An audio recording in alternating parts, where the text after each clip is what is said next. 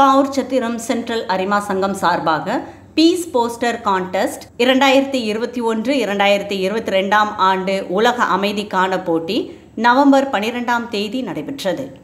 மாதாப்பட்டினம் சர்க்குண சத்திய வித்யாலயா மேல்நிலைப் பள்ளியில் வைத்து இந்நிகழ்ச்சி நடைபெற்றது. இந்த போட்டியில் பதினோரு வயது முதல் பதிமூன்று வயது வரை உள்ள மாணவ மாணவிகள் மட்டுமே கலந்து கொண்டார்கள். போட்டியை பள்ளி தலைமை ஆசிரியை அமிர்த சிபியா தலைமை தாங்கி தொடங்கி வைத்தார். உதவி தலைமை ஆசிரியை ரெஜனா தெரசால் மாணவ மாணவிகளுக்கு வண்ண பென்சில்களை வழங்கினார். பவுர்சத்திரம் சென்ட்ரல் அரிமா சங்க முன்னாள் தலைவர் அரிமா கௌதமன் முன்னிலை வகித்தார். ஓவிய ஆசிரியர் சண்முக சுந்தரம் சிறப்பாக இதனை நடத்தி கொடுத்தார். பவுர்சத்திரம் சென்ட்ரல் அரிமா சங்கம் முன்னாள் செயலாளரும் பள்ளி ஆசிரியருமான அரிமா கலைச்செல்வன் போட்டிக்கான முழு ஏற்பாட்டையும் சிறப்பாக செய்திருந்தார்.